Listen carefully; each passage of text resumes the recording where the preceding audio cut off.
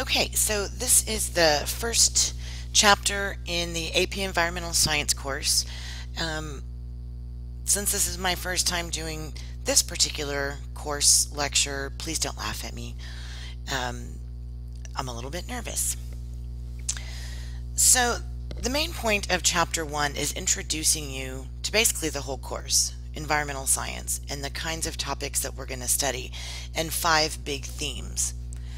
Well, this picture is showing you the Neuse River in North Carolina, and uh, there was a story about the Neuse River fish killer. Well, it was an organism called Pfiesteria, and it was killing a bunch of fish. And so some scientists went out there and noticed that they were becoming sick and confused um, and had memory impairment.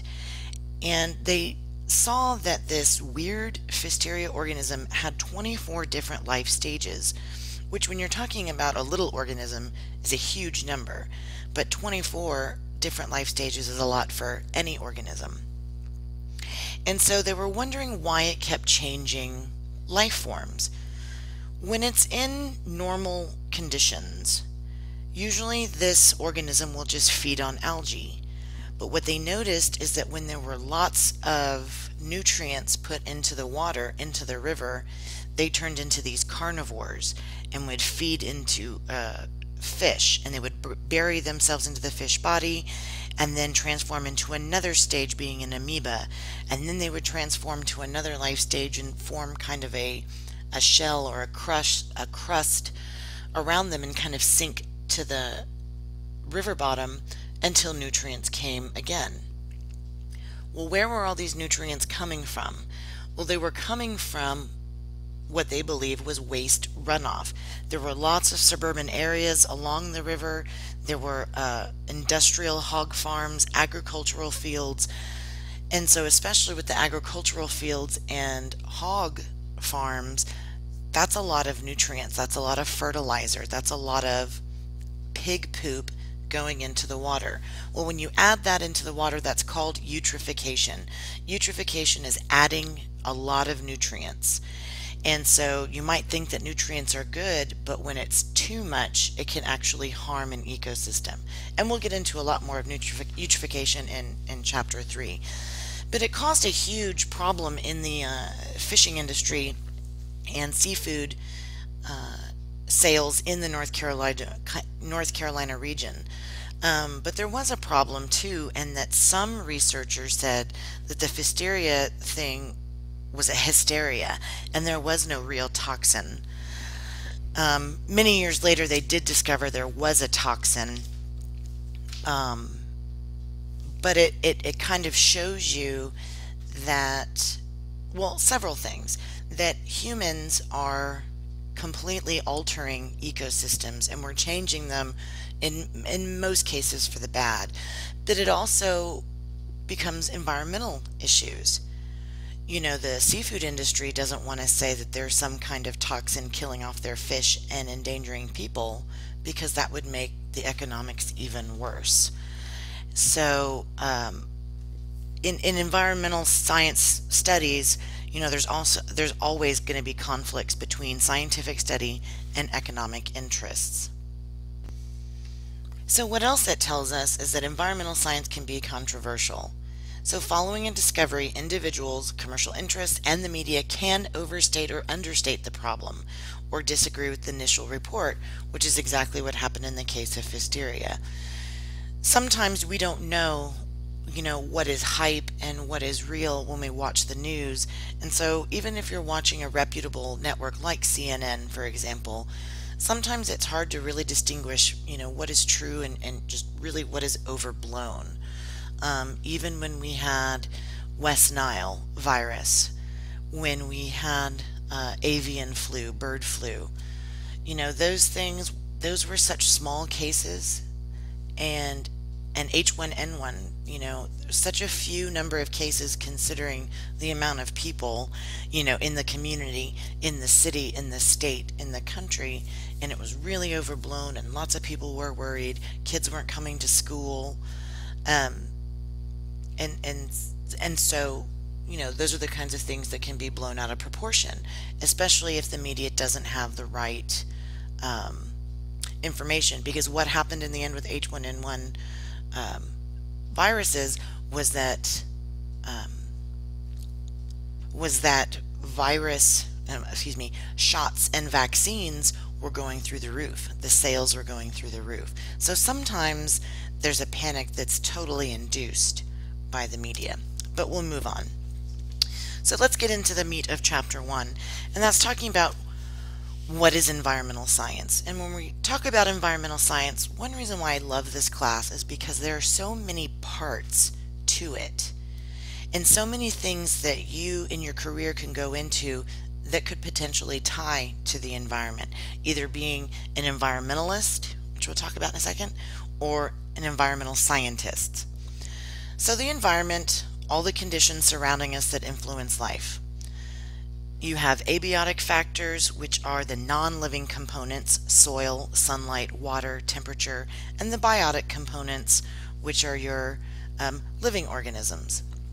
So environmental science is looking at all the interactions between humans and nature, between ecosystems, between communities, between populations, between species. So then a system that takes us to systems because we're looking at all these systems interacting together. And that's exactly what a system is. Interacting components. Um, they can be man-made and if you've ever been to New York City, that is quite a subway system that they have. Um, or any kind of natural system like uh, the rock cycle, weather cycles, including the water cycle, uh, etc. So an ecosystem is composed of the living and non-living components. I mentioned biotic and abiotic. And so environmental studies are studying these interactions among human systems and those found in nature. But we also get to get into environmental policy or law, economics, literature, ethics. You could go into math. Okay, so all of these topics here we're going to get to study throughout the year ecology will be first. Then we study uh, populations. Then we will move on to climates and biomes. We will talk a little bit about chemistry. Um, throughout the year, we incorporate law and ethics. We talk about politics and how policy is actually created, and then the economics behind it. So it's not only a natural science or studying the natural sciences, but it's also studying social sciences. This is just showing you how housing development uh, is one of the many ways in which humans have converted land from its natural state. So um, this is a figure from your textbook and it does not say um, where it's from. Um, it just shows that how we have turned these beautiful natural areas into developmental regions. And so you can imagine as you look in that picture where there's trees missing, that can lead to some environmental issues, which we'll talk about. Here's an example of urban sprawl. Okay, so LA in 1880, when there wasn't a whole lot there. 6,000 people lived in LA in 1880, and by 2009, over almost 4 million people live in the uh, center of LA and then when you talk about the metropolitan area around LA and all the little suburbs, it's around 13 million. Um, my brother lives there, so I've been there a couple of times. The traffic is ridiculous. Humans are thought to be responsible for the extinctions of mammoths, giant sloths, and several birds. One bird in particular is called the passenger pigeon and um, was hunted to extinction for fun. Um, they weren't really eaten, but it was just um, for fun, for fun hunting. Millions of birds in a very short amount of years. However, humans have sometimes created opportunities from, for some species to thrive. Um, Native Americans have been known to create new ecosystems, such as the grass prairie, um, because they had set fires to keep trees from encroaching on them. And so some species um, came to be suitable for that environment in the grass prairie, so they thrived, they went on to reproduce. Although we have increased human well-being, it comes at a cost. Cities cover the cover land that was once natural habitat. A few thousand can live in an area with minimal effects, but how could 4 million people live in a city such as LA and not have a huge effect on the environment? And as we get into a uh, discussion on cities and urban sprawl, you'll see the kinds of effects that humans have had. This was a picture that I had taken from a lecture that I attended as a student, and this was showing you um, these are buffalo skulls and how many millions were slaughtered in the 1800s.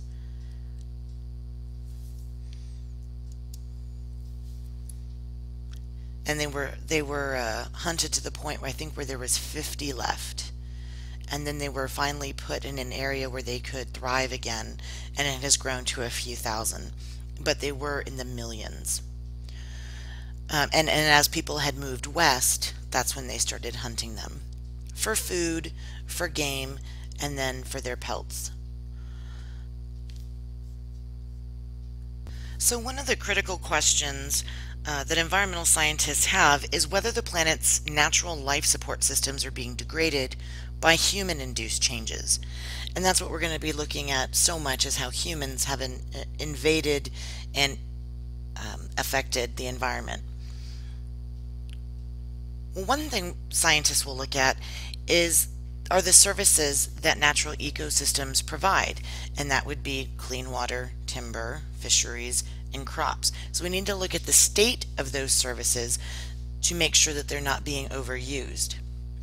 Environmental indicators describe the current state of the environment. So we look at things like with humans, how you know, if we have a high temperature, we know that we might have an infection because we have a fever.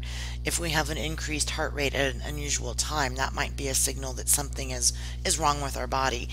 And so scientists will look at the same things in the environment, like with oceans. They'll look at salinity, they look at temperature, they look at carbon dioxide and oxygen levels. And so they can detect changes in these indicators, um, and they don't always tell us what's causing the change, but they do tell us that we might need to look at that in more detail. And then sustainability is, you know, we use all this information about indicators in our services to reach sustainability. And sustainability is a major theme of the course and in throughout the textbook. And sustainability is living on the earth in a way that allows us to use its resources without depriving future generations of those resources. So it's doing the things that you guys have kind of grown up doing. Turning off the lights when you're not in the room and saving electricity. Saving that electricity means we're burning less coal or another fossil fuel for that electricity. Turning off the water when you're brushing your teeth. You know, waiting to um, wash the dishes or wash the clothes until there, there's a full load there. So not depriving future generations and not depleting the resources as well. And as we'll talk about in a minute, we know we're depleting our resources. So the five global uh, environmental indicators are biological diversity, food production, surface temperature and carbon dioxide concentrations, human population, and resource depletion. And we're going to talk about each of those in detail. Here's a chart that you can uh, look at in more detail in your book, which is on page 6. So the five major indicators, global indicators, what has been going on, and what the out outlook is for the future. So when you look at biological diversity, for example, humans are causing a greater number of extinctions, mostly due to habitat destruction or degradation. And so the extinction rate is probably increasing because of humans, beyond the natural extinction rate. And so the outlook for the future, extinctions are going to continue, and so that is a pretty negative impact on the environment. So I'll let you, you can pause here and take a look at this chart, or you can uh, take a look at it in on page 6. So the first of the global environmental indicators is biological diversity. And diversity is just, the biodiversity is just the diversity of life formed in the environment. And so we look at it in three different ways, genetic diversity, species diversity, and ecosystem diversity. The first being genetic. Um, and I believe we get into this in chapter 18. And that's just looking at the different uh, individuals in a population. So high genet uh, genetic diversity are going to be able to respond better to an environmental change, so they will go on to survive and then reproduce. And eventually uh, more species will evolve, which is speciation. If you have a low genetic diversity where the members of the populations are very similar and there's a drastic environmental change, you could say pollution or just a natural climate change, or even a human induced climate change, you know, if those, if that uh, population with low diver genetic diversity can't survive that, then they're not going to go on to survive and reproduce. So gen uh, genetic diversity is, is going to be important. Species diversity is simply the number of species in an area. Okay, so the different individuals in a species will breed, produce offspring, and then you have a species, a group of organisms that is distinct from other groups and forms. And so, hence speciation, evolution of more species. So far on Earth, scientists have identified about 2 million, and the most common estimate of species on Earth is 10 million, but there could be as many as 100 million. So even if there was 10 million, we only have one-fifth of species identified. And one thing to keep in mind that is not on this um, slideshow is that 99% out of, of every species that have ever been alive is now extinct. And we still have possibly 10 million species. So it's kind of something to think about. And it's not, of course, all human induced, but just think of all the species that have, you know, evolved and then become extinct just over the course of the 3.5 billion biological history of Earth. Ecosystem diversity, simply that. If I have more species, more ecosystems around, then those are going to be more resilient ecosystems and more productive. So we'll have more species um, and they're not as in danger for extinctions. Background extinction rate, 1 in a million every year, meaning that one species in a million dies every year, but sometimes the rate can be 10,000 species a year. And a lot of that will depend on human activities, especially lately. Um, when we get into the geologic time scale and we'll look at major um, evolutionary events and major extinction events, you will see that currently we are undergoing a massive extinction event and it's triggered by humans. And more species are becoming extinct every year because of humans. And again, the most um, common reason is habitat destruction or degradation. This picture here is just showing you species diversity, the variety of things that are on Earth. Um, a majority of that, well, well, maybe a majority, a healthy, healthy percentage of all the species that have been identified are insects and then plants. Just an FYI. And then we talked about that, ecosystem diversity. All right, the next global indicator is food production. And this is when we will get into Food Inc. and talk about uh, the most common crops, where the food is going, are we going to have enough food to sustain the human population? So we use science and technology to increase the amount of food that we can produce on land. And what you'll see in just a second in a graph, well, actually I can go back to that. This is showing you the amount of grain per capita, which per capita is per person, of grain that has been produced since the 1950s. So while grain production globally has actually increased dramatically um, well, maybe not dramatically, but fairly steady since the 1950s um, because of irrigation, fertilization, um, new crop varieties, and the GMOs, the genetically modified organisms. Um, per capita has actually started to level off a little bit. Now let me go back. Okay. Um, so the three most common crops are wheat, corn, and rice. That's something to remember. And the one that is close behind are soybeans. And one thing that we need to think about with the crops is although that it has grown a lot since the 1950s, many things are still going to affect how much grain is grown. And a big one is going to be soil. You need to have healthy soil in order to keep the crops growing.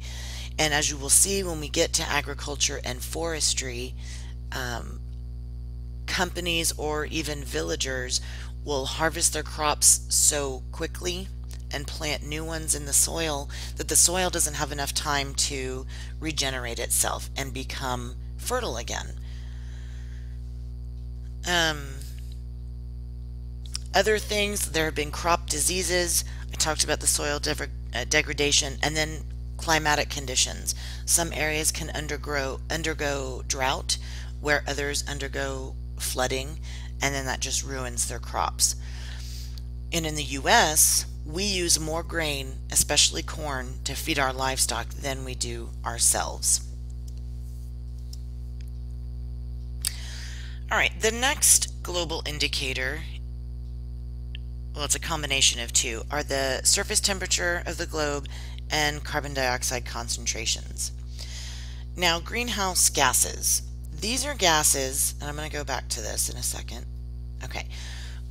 The greenhouse effect is actually a really good thing for the Earth. It keeps us at about an average, a global average of 59 degrees Fahrenheit. So what happens is uh, solar energy comes in, and some is re-radiated back out into space um, as it's reflected from clouds a lot of times. Other times, or, or other amounts are um, taken into the soil and absorbed. And then other times it'll strike the surface and then go back out into the atmosphere. Where's my arrow? Okay, here we go. So this is showing you right here that it got re-radiated back out into space and here these gases kind of got trapped in the atmosphere. That is the greenhouse effect. So we need it. Um, and here I show you uh, methane, carbon dioxide, water vapor, CFCs, which are man-made greenhouse gases, ozone and nitrous oxide are the main greenhouse gases. But if we keep increasing the amount that gets produced from human or anthropogenic activities, um, the, the global surface temperature is expected to increase.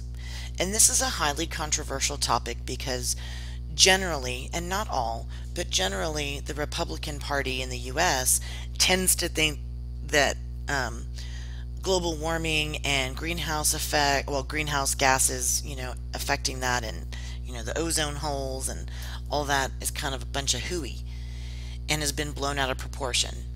And whereas the Democrats are more of the environmentalists, and we'll see that when we watch An Inconvenient Truth.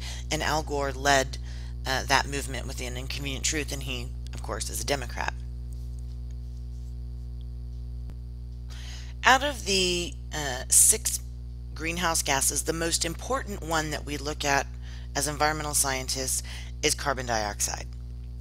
And we look at that because we can correlate um, carbon dioxide concentrations going up as well as generally the global surface temperature. So that's something that scientists really take a look at. They look at surface temperature at the same time as they look at carbon dioxide. And you can imagine, as you see in this graph here, that as the automobile industry exploded, so did carbon dioxide um, concentrations, excuse me, concentrations in the atmosphere, and then the temperature. Now we'll talk about later on why that global temperature will kind of go up and down like that. It's actually a very common graph that we'll look at. I'm going to try and speed it up a little bit because I've noticed I've taken quite a while just to get where I am now. Um, all right, so the human population. Our human population is currently at 7 billion. We reached 7 billion in March of 2012, and we're expected to reach 8 billion in the spring of about 2024. Now, that may sound like a while away, but that's only 12 years. 12 years to add 1 billion people to the earth. Now keep in mind that in 1960 there was only 3 billion people on earth. It did not take very long in was that 50 years to more than double what was on the earth in 50 years. Okay, and we'll get into a lot of that um, about population. It's it's quite an interesting topic. And over a million people are added to the earth every five days. The current growth rate of population is about 1.14%, and that is almost half of what it was in the 60s. So efforts to control human population is successful, but with any, you know, explosive growth like our human population, it's going to take time for that rate to actually affect the global population. Um, in terms of populations of countries, China is number one with a billion 387 million people. India is second with a billion 255 million people. And the US has a population of around 320 million. And that's a number that you'll need to, to know. This is just showing you a town in India. Um, they live in slums they live in shanty towns. There's lots of people living in boxes. They pee and poop in the street. Um, you know, it's it's not the healthiest of situations, and their population has kind of gone, you know, out of control. And we will talk about that. We're going to talk about how the governments of China and India have addressed their issues of population, considering their populations are more than four times that of the U.S. The next uh, global environmental indicator is resource depletion, and this will be a big topic that we cover second semester when we talk about renewable and non-renewable resources. So as the human population has grown, um, especially more than doubling in just 50 years, where we're using a lot of the Earth's resources. And especially in developed countries, developed countries are using a heck of a lot more resources than the developing or what used to be called third world countries. Non-renewable resources are those like coal, oil, and uranium, uh, natural gas, meaning, you know, in a they're finite for now and cannot be renewed or reused on a human life scale. Eventually they can be found again since they're fossil fuels. They take millions of years to form. Um, other natural resources like, like aluminum or copper also exist in finite amounts, but those we can at least recycle and reuse. This is just showing you um, what percentage of resources are being used in developed versus developing nations.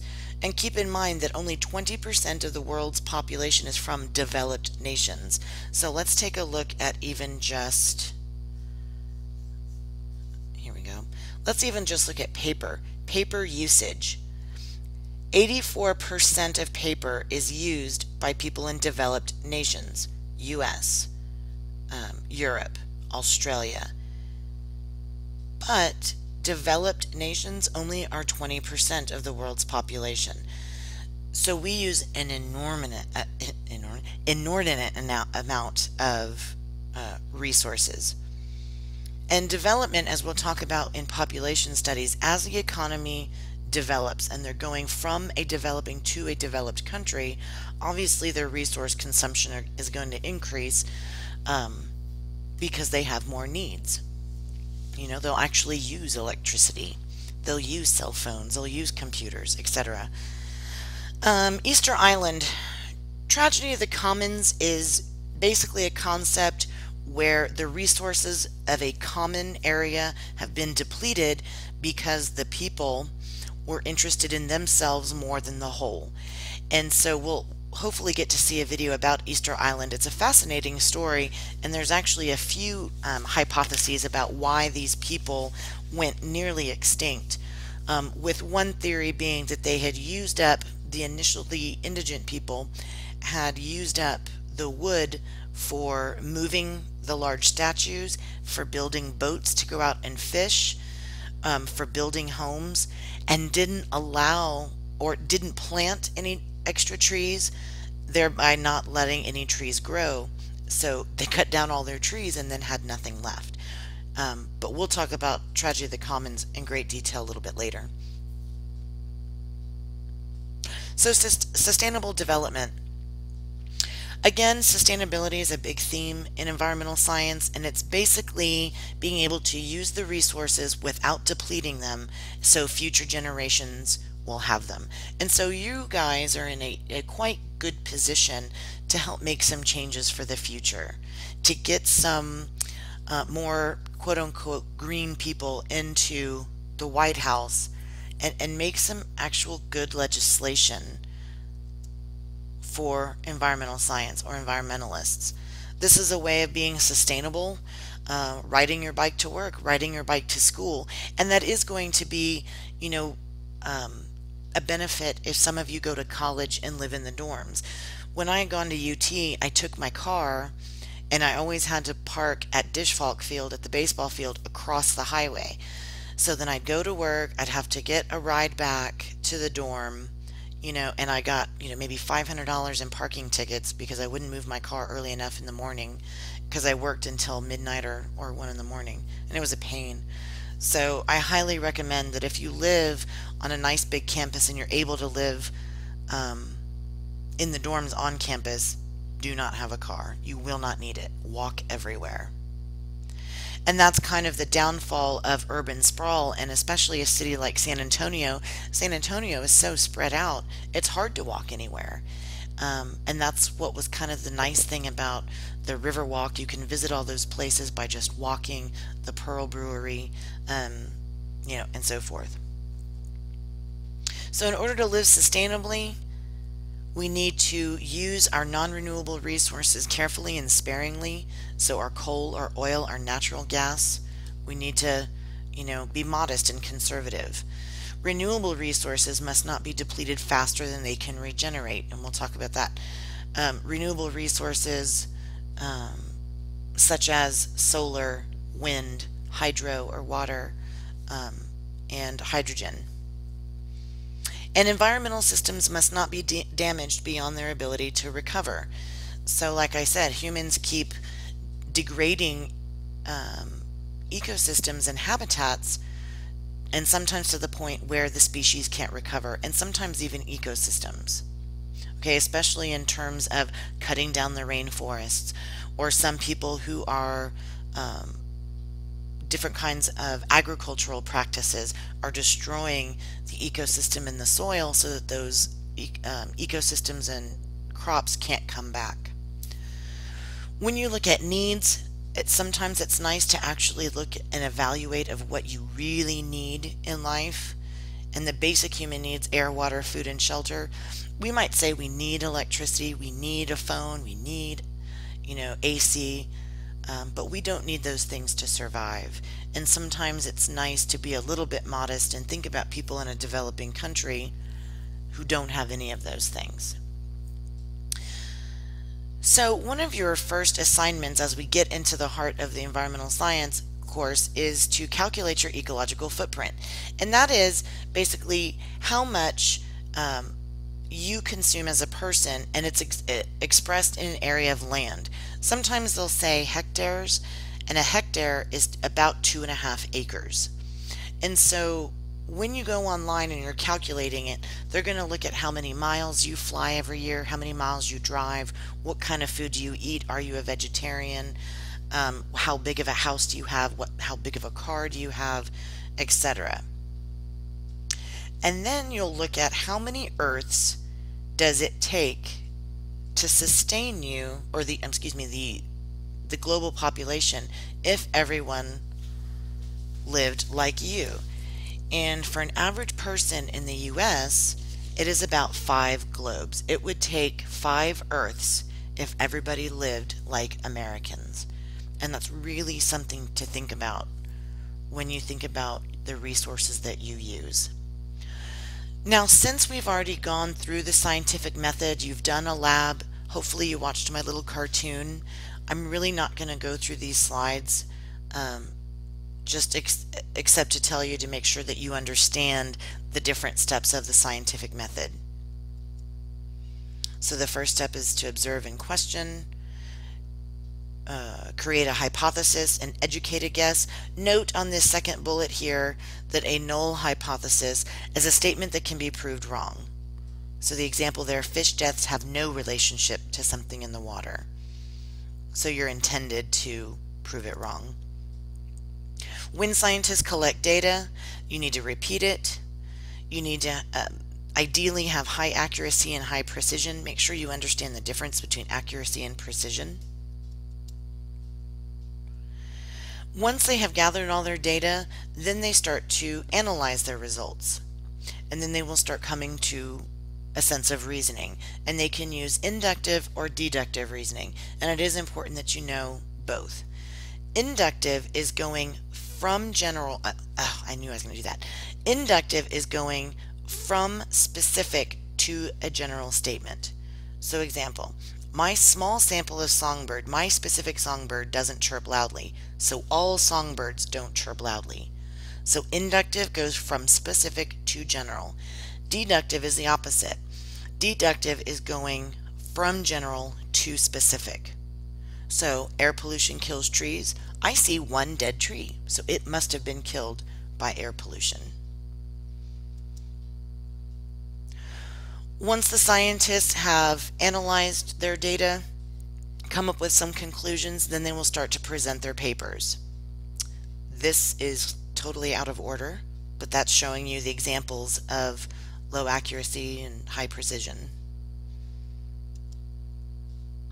Alright, so once the scientist has presented his paper and disseminated the facts to the scientific community, it's either going to be elevated to a theory or law or completely rejected. A theory means that it has been repeatedly tested and confirmed and is widely accepted by the scientific community. So, theory of evolution, Big Bang theory, theory of relativity.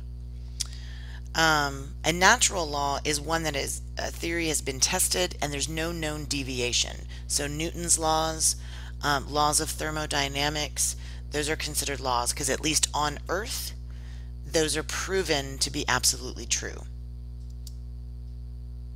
A controlled experiment is conducted in, a, in the controlled conditions of a laboratory.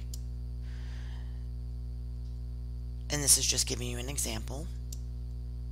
A natural experiment is when you have um, a natural event that acts like a treatment in, an ecosystem. And this was a really good example.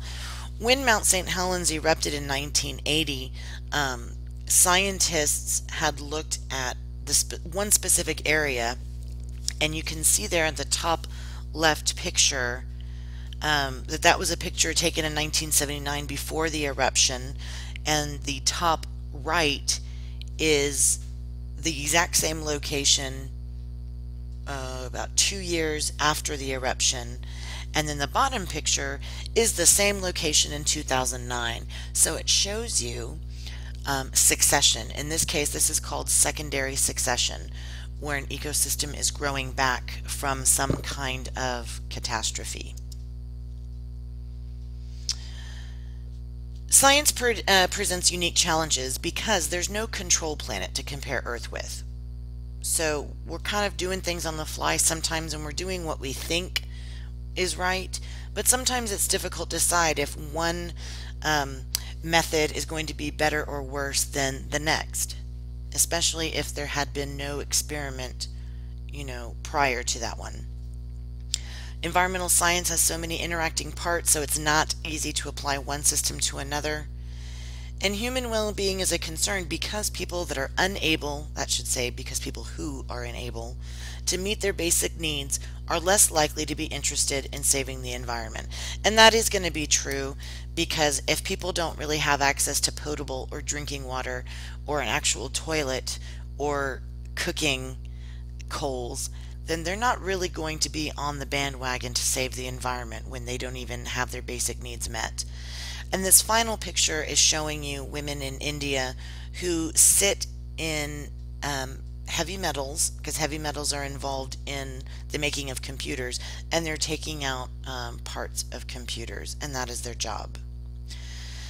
Well, this just is about to hit 40 minutes, so I hope you enjoyed the Chapter 1 lesson.